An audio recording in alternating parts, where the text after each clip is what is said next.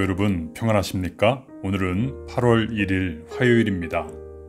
오늘도 주님의 말씀과 함께 기쁨, 감사, 은혜 풍성한 하루 되시기를 바랍니다.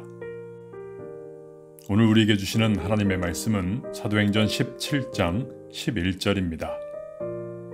베레아에 있는 사람들은 데살로니가에 있는 사람들보다 더 너그러워서 간절한 마음으로 말씀을 받고 이것이 그러한가 하여 날마다 성경을 상고하므로 아멘. 오늘 본문에 두 도시가 등장하고 있습니다.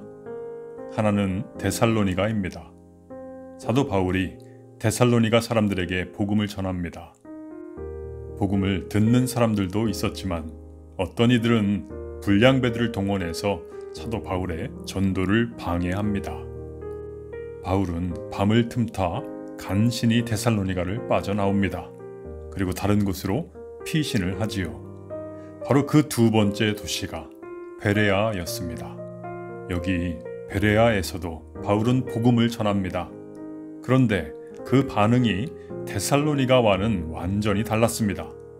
오늘 본문 11절입니다. 베레아에 있는 사람들은 데살로니가에 있는 사람들보다 더 너그러워서 간절한 마음으로 말씀을 받고 이것이 그러한가 하여 날마다 성경을 상고함으로 여기에 참 부담스러운 단어가 나오지요. 날마다라는 단어입니다. 어떻게 날마다 성경을 읽고 묵상할 수 있을까? 그게 정말 가능한가? 가능합니다.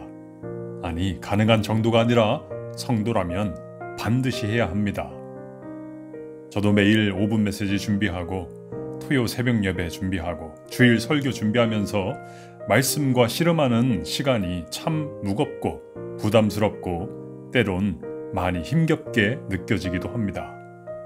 하지만 그렇게 말씀 앞에서 나를 비춰보면서 그 말씀을 묵상하는 시간, 말씀 붙들고 살아가려고 노력하는 그 시간이 없었다면 어땠을까? 그것을 생각하면 아찔해집니다. 그 말씀이 흔들릴 때마다 저를 붙잡아 주었기에 물론 여전히 저는 아직도 많이 부족하지만 그나마 이만큼이라도 믿음으로 서 있을 수 있었다고 생각하기 때문입니다. 시편 119편 50절의 말씀은 이렇게 고백합니다. 이 말씀은 나의 고난 중에 위로라. 주의 말씀이 나를 살리셨기 때문이니이다. 이 시편의 저자는 주님의 말씀이 나를 살렸다고 고백합니다. 성도 여러분, 이 시편 저자만 살렸겠습니까? 저도 고백합니다. 주님의 말씀이 나도 살렸습니다. 그 말씀의 능력을 믿고 말씀을 따라 살아갈 때 주님의 말씀이 오늘 이 메시지를 들으시는 성도님들의 삶도 살리실 것을 믿습니다. 하나님의 말씀은 살아있고 활력이 있어 좌우의 날선 어떤 검보다도 예리하여 혼과 영과 및 관절과 골수를 찔러 쪼개기까지 하며 또 마음의 생각과 뜻을 판단하나니 아멘. 하나님의 능력의 말씀, 살아있는 말씀이 오늘 저와 여러분의 삶 속에 시험을 이기는 힘이 되고 고난을 견딜 힘이 되고 하나님 나라를 위해 순종함으로 영광의 빛을 드러낼 힘을 주시기를 주님의 이름으로 축원합니다.